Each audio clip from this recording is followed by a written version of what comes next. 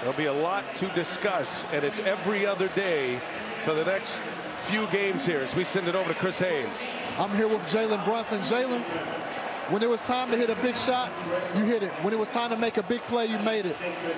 We didn't know if you were going to come out here in the second half after sitting out the second quarter with that foot injury.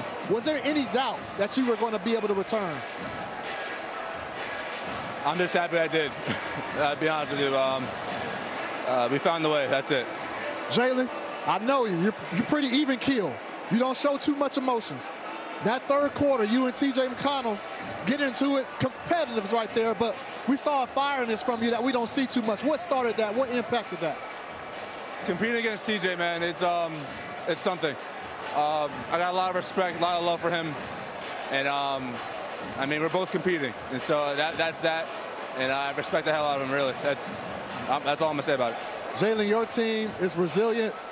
You guys, offensive rebounds, get the 50-50 balls.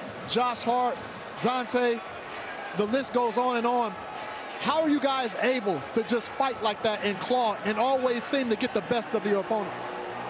I mean, we just find ways. I think for us, it's um, it just starts with our habits. And uh, we talked about doing the little things since day one. And so um, the little things matter, and you never know when they're going to help you in a big game. You never know when and which game. So um, it's all about doing little things every single day, and um, I think we pride ourselves on that. Ready for Indiana?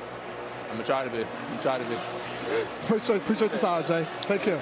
Well, Back to you, BA. Thank you, Chris. You know, Gainbridge Fieldhouse is going to be rocking, and there are.